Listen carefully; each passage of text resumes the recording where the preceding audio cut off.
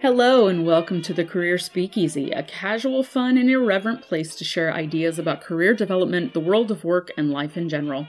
I'm your host and proprietress, Kelli Nottingham. Growing your career should not be boring. So come on in, pull up a chair, and pick your poison.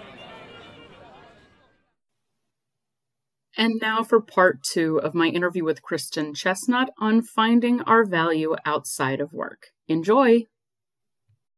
Like we were talking about, I think one of the other things that we just really need to get better about as a society and as individuals is understanding that all of these different jobs have value and mm-hmm. stop trying to place different levels of value on those jobs. Yes. Like, Yes. we need to get out of this mindset of like, you're just a janitor or you're just entry level, you're just a data analyst versus like, oh, you're a senior manager, oh, you're a VP. Society can't run without people who work in the restaurant industry, in the hotel mm-hmm. industry, who Right. are janitors, who are teachers, society, Or truck drivers. truck Yes. drivers. Yes. we saw this during fall- COVID. Like everything shut Yes. down because we didn't have like people to help with the supply chain and people to build stuff at factories that we needed. Yes. Yes. society needs all of these other jobs. Yes. They have amazing value that we could not live without. And so we need to stop looking down on them or being like, okay, it's fine for now, but you need to aspire to something greater. That Mhm. I don't understand that mindset. I know a lot of people who have that mindset. I personally don't understand it. I I personally I could never be a barista, understand all the different recipes for I can barely make my coffee at home and have it taste good. my Nespresso does the majority of my work for me. Mhm, And even mhm. then, it's still not the same as somebody Yeah. who knows how to make good quality espresso and steamed milk. So we just, I don't know why I'm stuck on the idea of coffee, but it- we just need to value. I don't know. maybe I maybe I didn't have enough. Um, we just need to value them more because they all have so much more value and require and deserve so much more recognition than we have given them in the past that we give them now. Um, and I think that's a huge part of the conversation that needs to happen. I completely agree. It's it's one thing my sister and I have talked about this quite a bit that we're really grateful to our mom for giving us that growing up and and making sure that we understood that you treat people with respect no matter what they do for a living, no matter who they are. And I've seen it come out where I didn't really think about it until I saw other people not doing it. Um I remember, okay, this is like way flashback in the past. My job in college, I was uh, a work study student in college, and my job was sitting in the basement of the library. And I opened the periodicals, the international periodicals, and sorted them for them to go up on the shelves. And the maintenance crew for the for campus would often come through there because they kept a lot of their supplies in the basement. So I knew them really well. Like I would literally see them every day. We would stop and chat and talk and super nice, super nice people. And it didn't really even occur to me to to think anything about having a, like a, a relationship with them until I was on campus one day and I went to a fairly well known, highly respected school that was um, sometimes called the plantation because we had a lot of very wealthy white kids on campus.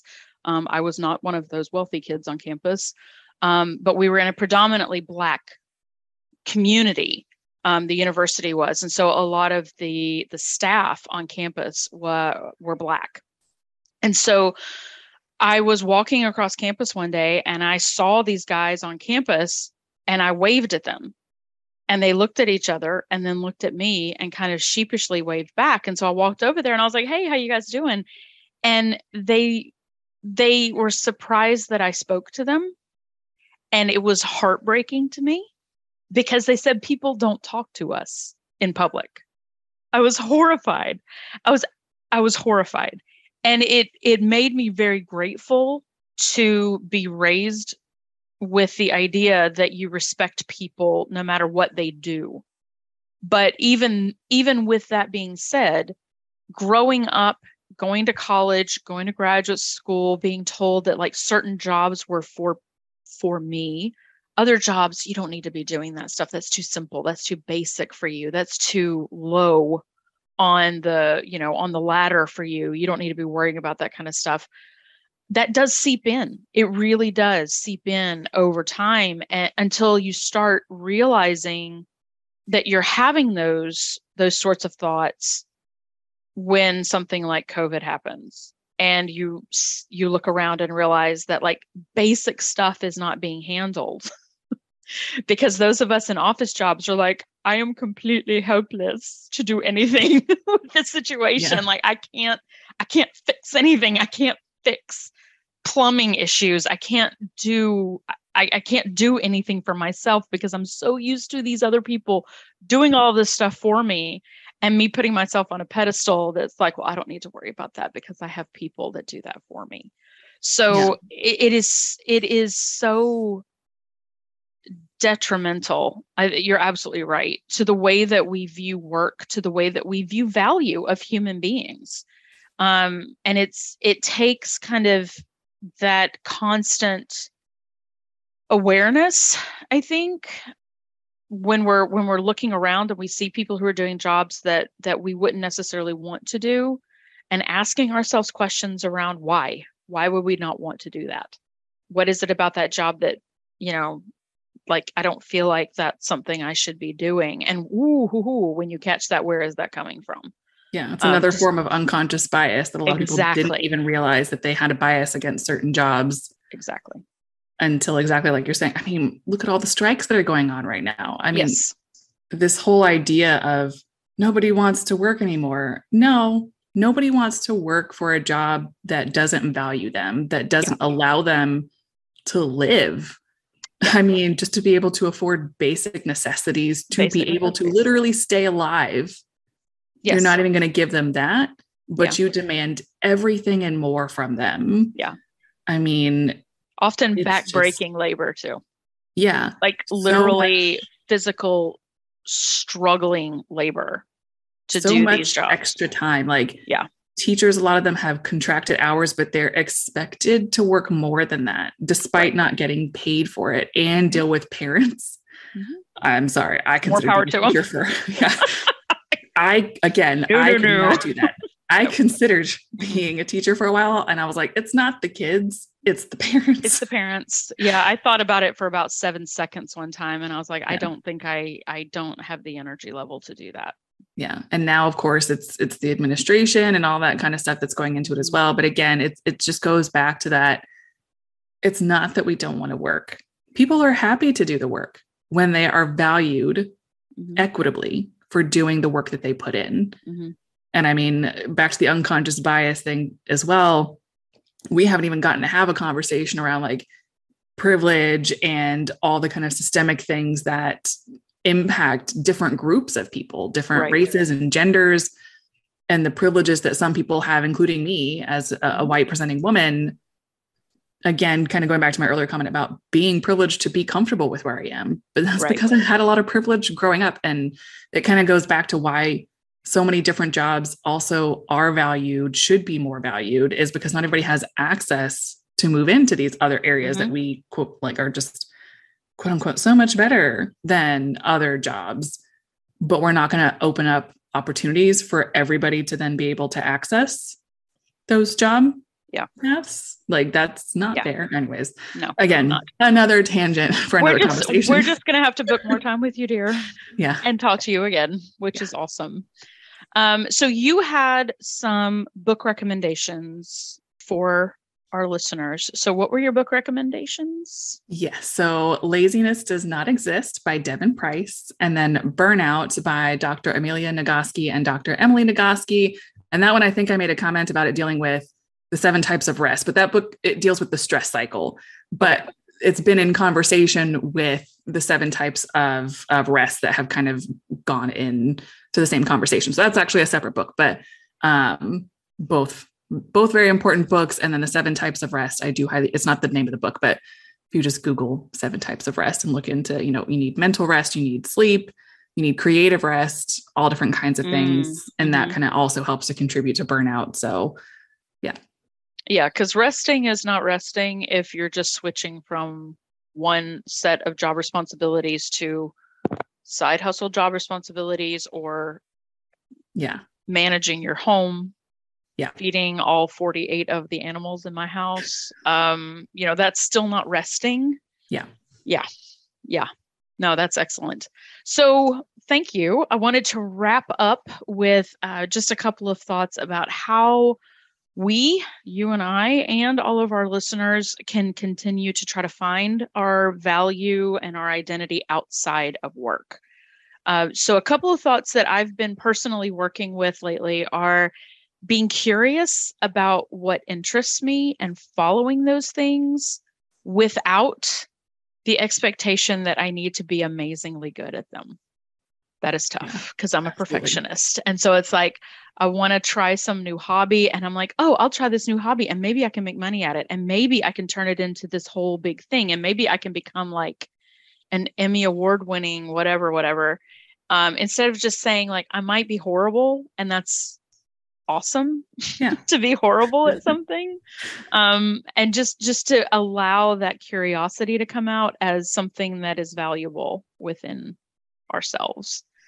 And with that same idea is catching those judgment thoughts of when I'm not doing enough or I don't feel like I'm I'm working fast enough or I didn't get this done today or that the judgment thoughts that go with transferring my to-do list and you've seen my to-do lists they're ridiculous um, transferring the to-do list onto the next day's to-do list and then mm-hmm. being like hateful with myself for not getting it all done even though no human being on the planet could get all of that done. Yeah. Um, but catching those judgment thoughts whenever they're happening to say, whoa, whoa, whoa, whoa, whoa, whoa, I'm I'm doing enough. I am enough that I am enough without even doing. I am enough. So those are things I've been working with. I don't know if you have any tips or ideas that you would like to share with everybody on finding value and identity outside of work. Yeah, I think the biggest tip I would offer is to first just kind of reflect on what you really want, what brings you joy. Because again, kind of like we were talking about earlier, for some people that will be work. Maybe they mm-hmm. are working um, in a nonprofit that they're really passionate about, or maybe they're working in government and pushing policies that they truly believe in. Or maybe they're an instructional designer and they love it. And that yeah. is absolutely where they find the value in their life. And that's totally fine. Mm-hmm but also just be okay with the fact that work whatever it is doesn't have to be what your value is find figure out what find what brings you joy and make time for it so again like i mentioned for me i fell in love with reading and so i always make tons of time for it i absolutely get heat from it you know visiting my family i'll always have a book with me um, sometimes i prioritize staying in to read a book because that's just really what I want to do as opposed to going out. And that's okay. And I'm the same as you. Like I am also a perfectionist. And so I, I'll try like watercolor painting. I'm like, I can do this. This will be my new creative outlet. And yeah, I absolutely have in the past had a terrible um record of being like, I'm not immediately good at this, which mm-hmm. who is? Who's immediately good at something the first time they try it? Nobody. Like, Nobody. And just finding the joy in trying new things mm-hmm. and being okay, like you said, with not immediately being good at it. And also, like you mentioned, not commodifying it because not everything has to produce monetary value. Yeah. It, it can bring joy, and that is value to my life. Yes. And so I think that's kind of the first thing is evaluating what brings you joy. Is it work? Great. Then that's what you can focus on. Is it traveling fantastic how can you make that happen more with whatever means you have is it reading is it painting is it just i want to try every single craft possible figure out what it is and figure out how you can make that happen mm-hmm. um and then i think it's just the other thing like i mentioned is setting boundaries and yeah. i know i know that it's incredibly hard because again i'm still not perfect at it in any way shape or form but turning off your work phone or not even having work on your phone in any shape or form if you can avoid it if you're able to leave it off of your devices if if you prefer to have a flexible schedule fantastic. If you want to work a couple of hours do something else work a couple more hours especially if you work remotely if that's a possibility. Mm-hmm. Again fantastic if that's what works for you. You don't have to force yourself to stick to a schedule but just figuring out what those boundaries are and setting them and doing your best to stick to them to make sure that you have time for what does bring you joy. Yeah, I, I'm so glad that you're saying this too, because as you were just saying that, it reminded me of how difficult it can be sometimes to even remember what brings us joy because we we yeah. get so used to not even looking for it anymore mm-hmm. and expecting it to be something that costs money or expecting it to be something that's complicated i love to just i love to take a walk and in my neighborhood and so sometimes it's like i just and it's it's houston it's hot i'll take my little umbrella yeah and i'll go and walk um just in the middle of the day when i'm feeling that stress and that anxiety and it's like sometimes it's worth more to me mentally and emotionally and physically to go take a walk instead of even eating lunch. Like I, I don't mm. even want to eat lunch sometimes when I've been able to sort of fill myself up with some sunshine and the little lizards that are running across the yard and and that kind of thing. So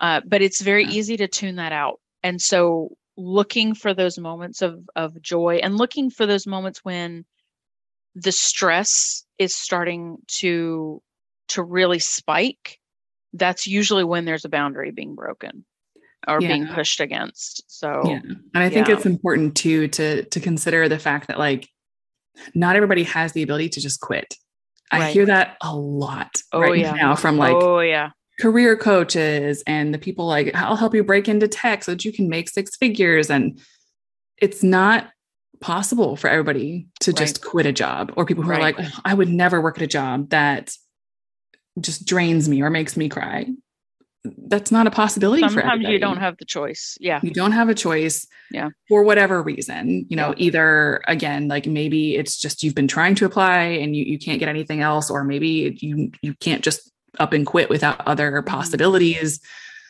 and so again i think that's where that boundaries piece comes in that again if it's possible figure out what boundaries you can set because yes. again some jobs yes. will absolutely push those mm-hmm. and in some jobs you can't set the kinds of boundaries you want but figure out where you can set a boundary mm-hmm. and try to stick to them and find ways that help you that bring you joy that help you de-stress so that you can essentially like survive unfortunately i think is the yeah. way to put it in that job yeah. um, and hopefully eventually find something else, but also kind of again, kind of addressing that narrative around like just quit. It's just not a possibility. it's not possible. It's not possible, but there is the possibility, you know, that we we can still try to find that sense of self and that sense of identity outside of our work. Which yeah. I know in situations where I've been in where I haven't been able to quit, and I've been in a really bad situation at work um, where I was stuck. I was stuck giving myself that space of saying I am not what I do. Yeah. I am not this this is literally a means to an end for me. This is I do this so I can buy groceries and so I can, you know, pay to put gas in my car so I can get to my job. Yeah. Um, but finding that larger purpose in my life, which is helping others, mm-hmm. that helped me to be able to get through those periods until some time and opportunity opened up that I was able to then make a, a different choice with yeah. work. I think I told you, yeah. you know, at one point in one of my jobs, I was just, I was so stressed and miserable. And the company, a lot of companies did this, but the company was pushing out this narrative just take care of yourself, make yourself a healthy meal, everything's going to be fine, while also piling on. Extreme amounts of work and short deadlines to every employee. I was not the only one feeling that way. And so I was like, okay, I'm going to take the time for myself and I'm going to make myself a healthy breakfast this morning. So I got all the ingredients. I was like, I'm going to cook a breakfast hash. I had an incredibly stressful meeting and then went to go make my breakfast with tears streaming down my face. Mm. And it was just such an eye-opening moment for me that I was like, here I am trying to take care of myself by making a breakfast while bawling my eyes out. Like this is not healthy. And I think yeah. that was one of the points where I was like, I need to set better boundaries. Because part of it was that I wasn't setting boundaries. And like you mm-hmm. mentioned, I started to set some and it did help. Certainly did not fix the situation. Right. Everything right. wasn't all of a sudden peachy and rosy. Mm-hmm. Um, but setting the boundaries did help at least a little bit until I was able to to find a different situation. Yeah. Yeah. And sometimes that's all we can do, you know, until we can, you know, until we all win the lottery somehow magically. Every single person um, will be great. Mm-hmm. I mean, we, again, Jeff Bezos, if you would like to share some of your money, and Elon Musk. There, that too. Yes. So, yeah. So, you know, hopefully this conversation has been um, been helpful for some folks who may be dealing with some of this right now. Some people that are that are trying to understand this whole concept of quiet quitting. We talked about that a little bit and trying to understand what that can actually look like in a healthy way instead of in an unhealthy way. Uh, and figuring out, you know, how do we identify ourselves? How do we associate ourselves and our sense of self, our sense of value, our sense of worthiness with the work that we do? And how can we instead look at something a little more um, self focused and internal and use work as that outlet for part of our um, purpose instead of the source of our purpose. Yeah, absolutely. All right. All right. Well, thank you very much um, for being here. I really appreciate it. I'm sure we'll have you back because you had a lot to say and we have a lot of conversations still waiting to be had. So, so thank you everyone very much and uh, thank you kristin for all of your great book recommendations. And until next time everyone take care. Well thanks for joining me. If you have suggestions feedback or just something random you want to share email me at careerspeakeasy at gmail.com and come visit again soon. Cheers